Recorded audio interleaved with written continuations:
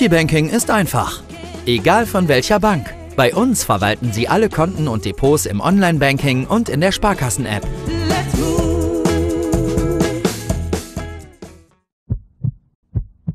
Ist Ihr Blutdruck auch zu hoch? Knobi Vital, der Knoblauchtrunk aus dem Allgäu. Altbewährt und hilfreich. Und jetzt neu. Knobi Vital mit Kurkuma für einen gesunden Blutdruck durch das im Kurkuma enthaltene Kalium. Knobi Vital, erhältlich in allen Apotheken und Reformhäusern. Beratung und Information unter 07528 20 6000. Knobi Vital mit Kurkuma für einen gesunden Blutdruck.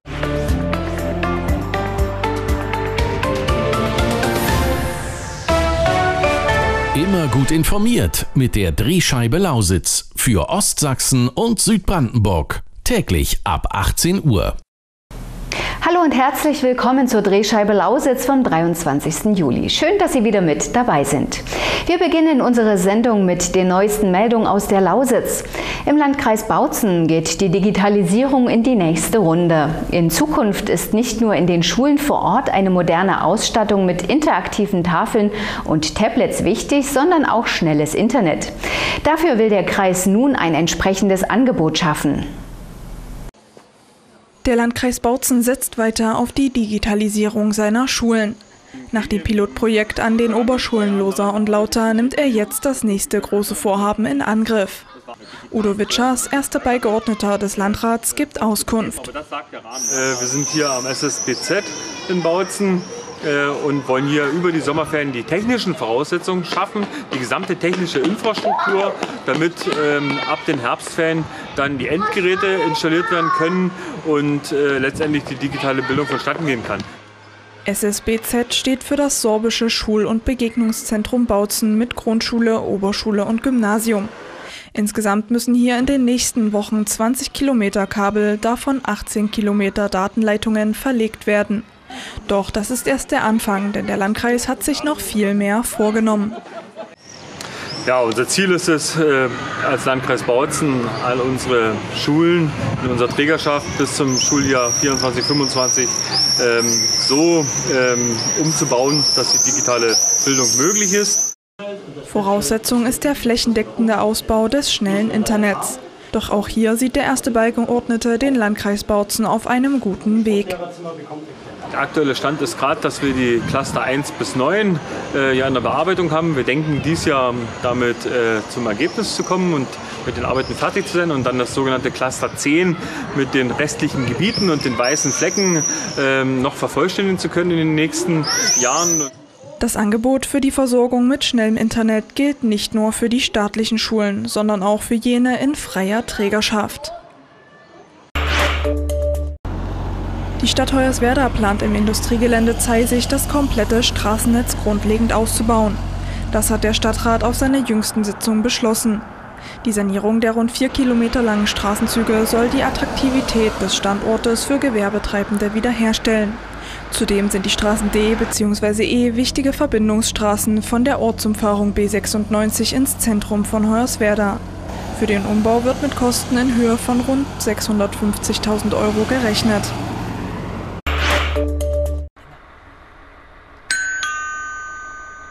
Heimat lebt von ihren kleinen Geschichten und den Menschen dahinter. Kennen Sie jemanden mit einem besonderen Hobby, einem großen Herz für andere oder großem Engagement für eine Sache? Dann schreiben Sie uns an info@lausitzwelle.de. Wir stellen diese Menschen gern einmal vor. In Hoyerswerda bereitet der Sportbund Lausitzer Seenland die erste Ferienwoche in Sachsen vor. Insgesamt fünf Vereine stellen Grundschülern die Sportlandschaft in Hoyerswerda vor. Abschließend erwartet die Kids außerdem ein kleines Dankeschön. In der kommenden Woche findet die erste Feriensportwoche Spannung, Spiel und Spaß mit Hoyerswerda Sportverein statt. Der Sportbund Lausitzer Seenland Hoyerswerda organisiert als Dachverband der Hoyerswerda Sportvereine dieses neue Format. 20 Grundschüler bekommen so die Möglichkeit, die Vielfalt ausgewählter Hoyerswerda Sportvereine kennenzulernen. Die Aktion erstreckt sich über die gesamte erste Ferienwoche. Am Freitag um 16 Uhr erfolgt im Jahnstadion in Hoyerswerda dann die Übergabe von Teilnehmershirts und Urkunden im Beisein von Sponsoren und Eltern. Vor wenigen Tagen fand im Landratsamt Bautzen die Vertragsunterzeichnung zur Vergabe der Busverkehrsleistungen im Landkreis Bautzen für den Zeitraum 2022 bis 2031 statt. Der neue Verkehrsvertrag im Landkreis Bautzen, an dem auch die Verkehrsbünde VVO und SWON als Aufgabenträger beteiligt sind, hat eine Laufzeit von zehn Jahren und ein Volumen von 33 Millionen Euro pro Jahr. Für den Landkreis Bautzen ist es eine Investition in die Wettbewerbsfähigkeit der Region, so das Landratsamt Bautzen. Der Freistaat Sachsen will Städte und Gemeinden bei der Schaffung sozialer Orte als Mittelpunkt oder zentrale Anlaufstelle unterstützen. Das neue Förderprogramm Orte des Gemeinwesens richtet sich dabei vor allem an Gemeinden mit weniger als 40.000 Einwohnern. Finanziert werden Personal- und Sachkosten bei der Schaffung, Weiterführung und Erneuerung sozialer Orte. In Ausnahmefällen sollen auch bauliche Investitionskosten bis 50.000 Euro übernommen werden. Laut sächsischem Sozialministerium kann die Förderung von gemeinnützigen Vereinen und Gesellschaften und kreisangehörigen Kommunen abgerufen werden. Interesse kann noch bis zum 9. August bekundet werden. Mehr Informationen gibt es unter sms.sachsen.de und in der 27. Ausgabe des Sächsischen Amtsblattes. Anstelle des beliebten Altstadtfestes plant die Stadt Görlitz in diesem Jahr verschiedene Veranstaltungen. Darunter auch ein Tag mit dem Motto Vereint am Meridian. Am 31. Juli werden sich am Nachmittag Vereine präsentieren. Parallel dazu gibt es ein Bühnenprogramm. Die Stadt kann so zeigen, wie vielfältig die Vereinslandschaft ist. Zum anderen soll er aber auch die Vereine untereinander bekannt machen. Der Tag der Vereine, vereint am Meridian, Kennenlernen, Vernetzen, Stärken, findet am 31. Juli im Stadthallengarten Görlitz statt. Für Schüler im Landkreis Bautzen werden die Eigenanteile des Busausweises zurückerstattet. Das hat der Kreisrat in seiner Sitzung am 19. Juli beschlossen. Betroffen sind die Monate Januar bis Februar. Grund ist der durch die Corona-Pandemie eingeschränkte Schulbesuch. Bus und Bahn wurden von Schülern nur selten in Anspruch genommen. Die Rückerstattung erfolgt schnellstmöglich nach Abschluss der Organisation des neuen Schuljahres. Aufruf zum Fotowettbewerb für Groß und Klein. In diesem Jahr gestaltet die Gemeinde Röderland im Elbe-Elster-Kreis Gruß- und Glückwunschkarten für verschiedenste Anlässe. Für die Gestaltung neuer Karten werden jetzt schöne Motive aus den Ortsteilen der Gemeinde Röderland gesucht. Alle HobbyfotografInnen sind hiermit aufgefordert, ihre ausdrucksstärksten und eindrucksvollsten Fotos bis zum 15. September 2021 bei der Gemeinde Röderland einzureichen und sich damit aktiv an der Gestaltung der Gruß- und Glückwunschkarten für das kommende Jahr zu beteiligen. Aus Datenschutzgründen und unter Einhaltung der Privatsphäre dürfen keine Personen auf den Fotos abgebildet sein. Senden Sie Ihr Bild bitte ausschließlich als Bilddatei und nur per E-Mail an info@gemeinde-röderland.de. Dazu Ihren Namen und der Hinweis, wo das Bild entstanden ist. Für Rückfragen steht Ihnen Frau Pfennig im Amt Röderland gern zur Verfügung. Gehweg an Sornower Hauptstraße freigegeben. Der Ausbau des etwa 300 Meter langen Gehweges im Finsterwalder Ortsteil Sorno startete im September 2020 und konnte jetzt freigegeben werden. Gleichzeitig wurde die neue Straßenbeleuchtung im Bereich des Dorfangers eingeweiht. Mit dem Gehwegausbau entstanden zwölf neue Grundstückszufahrten. Im Zuge der Baumaßnahmen wurden zudem 13 Haushalte an das Glasfasernetz der Stadtwerke Finsterwalde angeschlossen. Eine Herausforderung beim Ausbau des Gehweges bestand darin, die vorhandenen Bäume zu schützen und möglichst zu erhalten. Die Kosten bei der Baumaßnahmen belaufen sich auf knapp 230.000 Euro.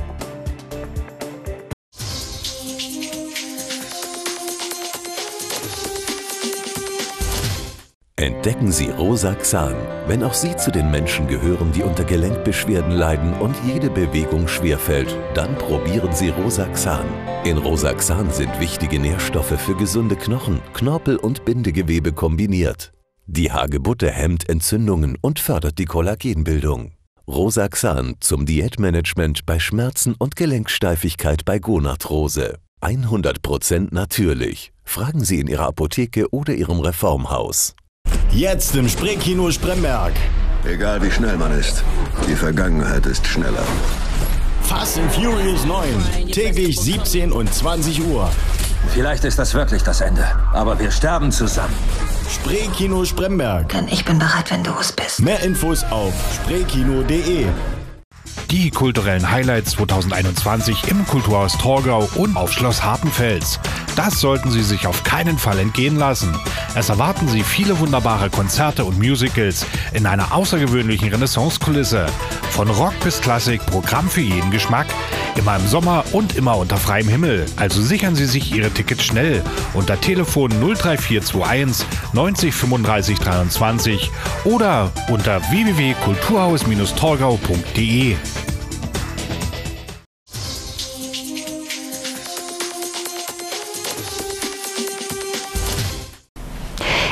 In Leutersdorf bei Zittau können sich Weltrauminteressierte nun in einmaliger Atmosphäre den Sternen ganz nah fühlen. Lausitzwelle war zu Gast im Mini-Planetarium der Familie Stern und hat für Sie, liebe Zuschauer, in Erfahrung gebracht, wie es zu der einmaligen Projektidee kam und welche Filme nun im Kuppelkino der Sternenscheune zu sehen sein werden. Thomas und Britta Stern starten durch zu ihrem neuen Großprojekt. Die Rede ist von ihrer erst kürzlich eröffneten Sternscheune in Leutersdorf bei Zittau. Dabei handelt es sich um ein Mini-Planetarium und Kuppelkino, welches es ermöglicht, etwas über die fernen Sterne zu erfahren und Filme im Full-Dome-Format zu genießen. Durch die Leinwand in Kuppelform bekommt man das Gefühl, mittendrin zu sein. Doch wie kam es eigentlich zu der Idee des Kuppelkinos? Der Ursprung war eigentlich, dass wir überlegt haben, da wir unkonventionelle Lebensläufe haben beide und wenn wir unsere Rentenbescheide betrachtet haben, uns die Tränen liefen.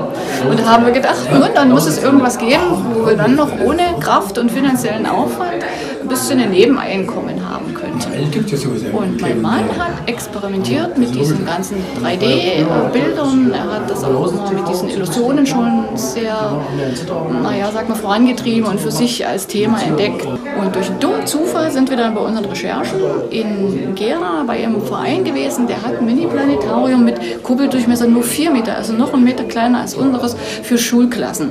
Und da haben wir gedacht, okay, da kann man auch schön 3D-mäßig das erzeugen, was wir wollen. Und dann habe ich gesagt, okay, 5 Meter, das können wir auf unserem Grundstück auch bauen. Immer mit dabei ist Tobri, der Sternenkobold. Tobri ist ständiger Begleiter in der Sternscheune. Er ist aber nicht nur ein Maskottchen, sondern erlebt auch seine ganz eigenen Abenteuer, begrüßt die Gäste und erklärt den Kindern, was sie alles über die Sterne wissen müssen. Hallo, ich bin Tobri, der Sternenkobold und das Maskottchen der Sternenscheune. Ich wünsche euch viel Spaß beim Gucken und schon bin ich wieder weg. Also ich habe gelernt in meiner Marketingzeit, dass es immer wichtig ist, einen richtigen Sympathieträger zu haben, den auch alle irgendwie äh, als den Wiedererkennungswert dann haben. Ne? Der ist ja bei uns überall drin, der kann überall auf jedem Schild auch sagen, lass das, mach das, mach das nicht. Also man muss das nicht immer mit so hässlichen anderen Schildern tun.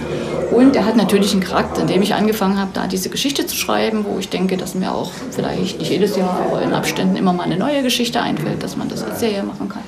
Und äh, der verbindet dann, sage ich mal, das Irdische mit dem Weltraum. Und da habe ich gedacht, dann passt das mit dem Stern. Und außerdem sind wir wieder bei unserem Namen. Es geht nicht, man kommt nicht dran vorbei. Und da habe ich gedacht, so ein Sternenkobold ist das richtige Maskottchen für uns. Bis auf die Elektrik, die Dachdeckerarbeiten und das Nähen der Kuppelleinwand wurde alles weitere komplett in Eigenleistung von den Sterns geleistet.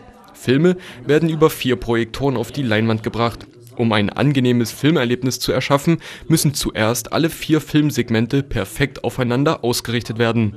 Im Oktober 2020 stand dann endlich die Technik und in der Sternscheune lief der erste Film.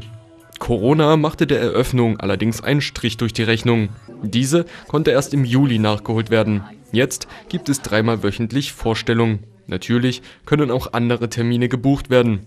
Und das Angebot des Kuppelkinos kann sich wirklich sehen lassen. Dazu gehören unter anderem Animationsfilme für Kinder, wie zum Beispiel Kosmonaut 360, der sogar ganz ohne Worte auskommt. Es werden aber auch spannende und informative Filme über unseren Kosmos präsentiert. Wer schon immer mal wissen wollte, was für eine lange Reise ein Photon hinter sich hat, bevor es auf unsere Erde trifft, ist hier genau richtig.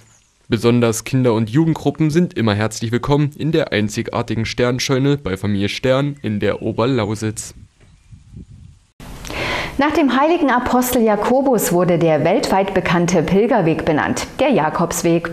Sein Grab im nordspanischen Santiago de Compostela ist das Ziel zahlreicher Pilger.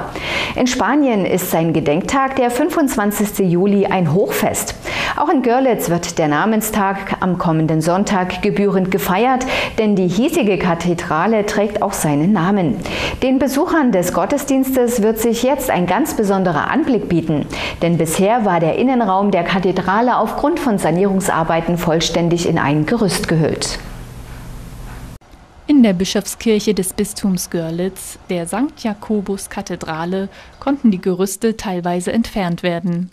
Im Zuge von Restaurierungs- und Sanierungsarbeiten waren sie notwendiger Bestandteil geworden. Der wohl imposanteste Abschnitt der Arbeiten, die Gestaltung der historischen Deckengewölbe, ist nun fast abgeschlossen. Lausitzwelle war im Februar bereits vor Ort, als Künstler Helge Warme den eingeladenen Pressevertretern seine Ideen der Deckengestaltung aus sozusagen nächster Nähe präsentiert hatte. Die Deckengestaltung referiert auf die Kreuzung zweier Wege. Die Besonderheit der Kathedrale ist es, dass sich zwei Pilgerwege genau in der Mitte der Kathedrale kreuzen, in der Vierung, die Via Regia, die als Jakobsweg festgelegt ist, und ein weiterer Pilgerweg, der vom Baltikum nach Prag führt. Da haben wir eine ganz interessante Konstellation hier in diesem Kirchraum, in der Apsis, die komplett durchrestauriert worden ist, also nach dem Befund, wie es früher mal vor 100 Jahren gewesen ist, wiederhergestellt wurde. So auch die Decken der Seitenkapellen und über uns die sogenannte Vierung. Das Gewölbe der Vierung ist modern gestaltet. Die Aufgabe war, das miteinander so in Verwandtschaft zu erstellen, dass es nicht fremd zueinander steht, sondern eine, eine gemeinsame Gestaltung ergibt. Die Zeichen unserer Zeit wurden zum Teil der Deckenmalerei. Auch ein QR-Code ist Teil der mosaikartigen Kunst von Helge Warme. Somit konnten moderne und historische Symbole gut nebeneinander stehen.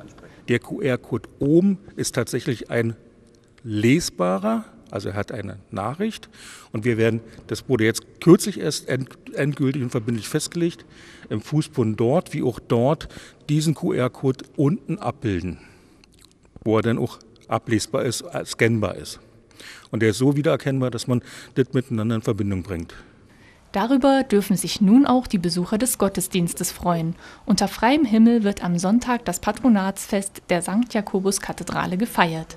Denn der heilige Jakob ist Namensgeber des Görlitzer Gotteshauses. Dieses Jahr werden die Feierlichkeiten etwas anders stattfinden als die Jahre zuvor. Bereits am Samstag geht es los. Wir haben in diesem Jahr das zweite Patronatsfest des heiligen Jakobus, des Patrons dieser Kirche, dieser Kathedrale was anders verläuft als sonst. Im vergangenen Jahr hat vor dem Platz ein Gottesdienst stattgefunden mit äh, der Gemeinde, insbesondere Heiliger Wenzel. Es kommen natürlich auch immer aus Koselitz äh, Gäste herüber. In diesem Jahr wird es noch etwas anders sein. Am Samstag vorher, also am 24. gibt es einen Pilgerweg, der wird in St. Marienthal beginnen. Er ist genau genommen auf der Nord-Süd- auf dem Nord-Süd-Pilgerweg, der von Gnesen und Posen Richtung Zittau läuft, allerdings dann auch nach Santiago de Compostela. Und diesen Weg wird der Generalvikar Dr. Alfred Hoffmann, der gleichzeitig auch Pilger ist, mit einigen Pilgern gehen, nicht zu viel, eine kleine Gruppe. Am Abend wird es eine Meditation geben Äh, und am Sonntag ein großen, großes äh, Fest, also ein Gottesdienst vor der Kathedrale, wiederum wie im vergangenen Jahr. Und jetzt kann man dann schon danach diesen Pilgerweg an der Decke sehen, den sich auch die ähm, Gäste am kommenden Sonntag anschauen können. Es wird sicherlich erklärt werden, was hier entstanden ist, nachdem die Gerüste jetzt gefallen sind. Und äh, ich denke, es ist eine ganz gelungene Lösung, alles wieder her so herzurichten, wie man es mal hatte. Das würde bedeuten, wir hätten auch in den Höhlen bleiben können. Von daher gesehen ist etwas Modernes in einer Kirche, finde ich. Und wenn es dazu noch so gut gelungen ist, äh, ja, etwas Positives. Nun folgen die Polizeimeldungen des Tages. In Bautzen werden Zeugen eines Mopedunfalls gesucht. Der Fahrer eines Kleinkraftrades kollidierte mit einer jungen Radfahrerin und fuhr davon. Gegen ihn wird nun wegen Unfallflucht ermittelt.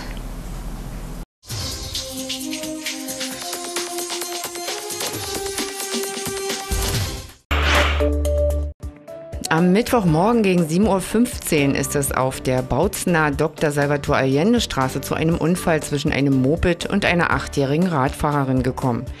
Das Mädchen war auf dem Fußweg in Richtung Hans-Eiser-Straße unterwegs, als ein Moped von rechts aus dem Gartenheimweg auf die Dr. Salvatore Allende Straße fuhr. Der Fahrer missachtete den Vorrang der Radfahrerin und es kam zum Zusammenstoß, wodurch das Mädchen leicht verletzt wurde. Der Mopedfahrer verschwand nach kurzem Anhalten, ohne seine Personalien zu hinterlassen. Der Verkehrs- und Verfügungsdienst in Bautzen übernahm die Ermittlungen wegen Unfallflucht und bittet um Zeugenhinweise. Sowohl der Mopedfahrer als auch Zeugen des Unfalls werden gebeten, sich beim Revier in Bautzen unter der Rufnummer 03591 3560 oder bei jeder anderen Polizeidienststelle zu melden.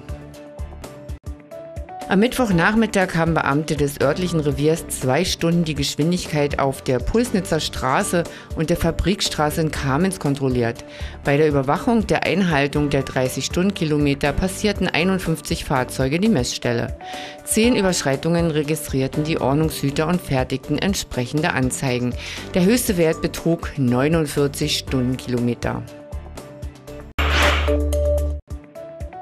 Ein Motorradfahrer ist am Mittwochnachmittag bei einem Unfall auf der Straße am See in Niesendorf bei Königswarter leicht verletzt worden. Der 51-Jährige übersah offenbar eine von ihm links abbiegende Mercedes V-Klasse und fuhr auf. Der Suzuki-Pilot stürzte und kam zur Behandlung in ein Krankenhaus.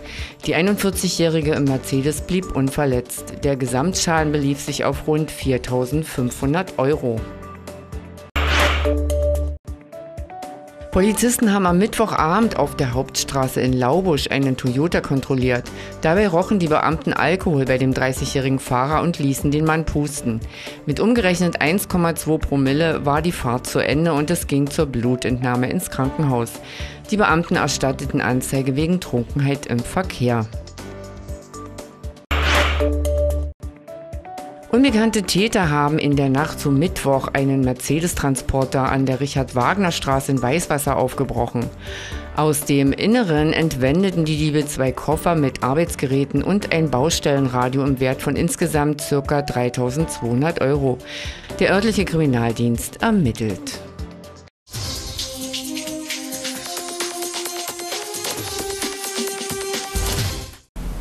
Zum Ende der Sendung sehen Sie die Wetteraussichten für das kommende Wochenende. Zuvor schauen wir noch in unser Kalenderblatt. Heute geht es um eine der kleinsten Kapellen in Sachsen. 1998 gebaut und ist gerade einmal 30 Quadratmeter groß. Das Lausitzwelle Kalenderblatt. Der Hoyerswerda Ortsteil Kühnigt stammt namentlich vom sorbischen Kien, das man mit Kiefer-Kiefernwald übersetzen kann. Der Begriff Kienecht taucht erstmals 1568 auf, allerdings nicht als Dorf, sondern als Begriff für ein Vorwerk, das zur Standesherrschaft Hoyerswerda gehörte. Neben der Holzverarbeitung war hier eine große Schäferei angesiedelt. Diese gehörte damals mit Fischerei und Getreidewirtschaft zu den Haupteinnahmequellen. Ein kurfürstlich-sächsischer Ingenieur, August Friedrich Döring, zeichnete 17 1986 eine Karte der Lage inklusive der zum Teil heute noch bestehenden Wege nach Seidewinkel, Zeissig und Spola.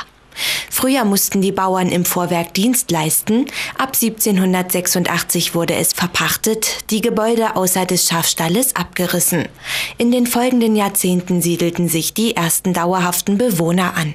Exakt 100 Jahre später, 1886, weist die Statistik 141 Seelen aus, größtenteils Sorben. Mit dem Aufbau der Neustadt wurde Künicht 1957 eingemeindet. Das Lausitzwelle Kalenderblatt.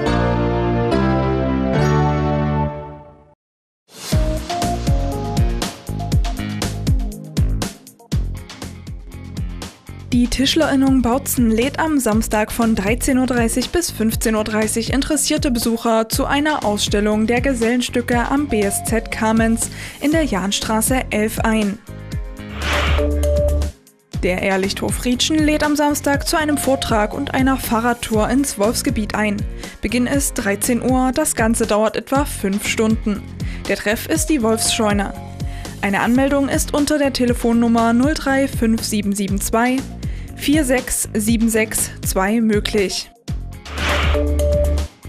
Die Modellbahnwerkstatt in der Energiefabrik Knappenrode lädt am Samstag und am Sonntag von 10 bis 17 Uhr alle Interessierten und Gäste wieder ganz herzlich ein. Der Besuch der Räume ist frei, jedoch ist für die Energiefabrik der übliche Eintritt zu zahlen. Am Samstag und am Sonntag findet auch wieder das Beachvolleyballturnier am Silbersee statt. Weitere Informationen finden Sie unter silberseebeach.sportclub-hoyerswerda.de. Und ebenfalls am Sonntag wird in der Pfarrkirche Heiligkreuz in Görlitz die Corona-Schutzimpfung angeboten. Jeweils um 12 und 14 Uhr nach der Sonntagsmesse kann jeder, der möchte, den Impfstoff BioNTech Pfizer gespritzt bekommen. Es wird gebeten, den Impfausweis, den Personalausweis und die Chipkarte mitzubringen.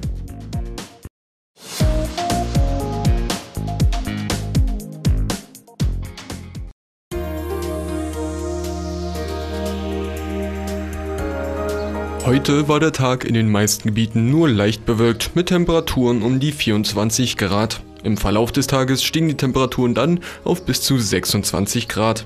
In der Nacht werden Temperaturen um die 15 Grad erwartet.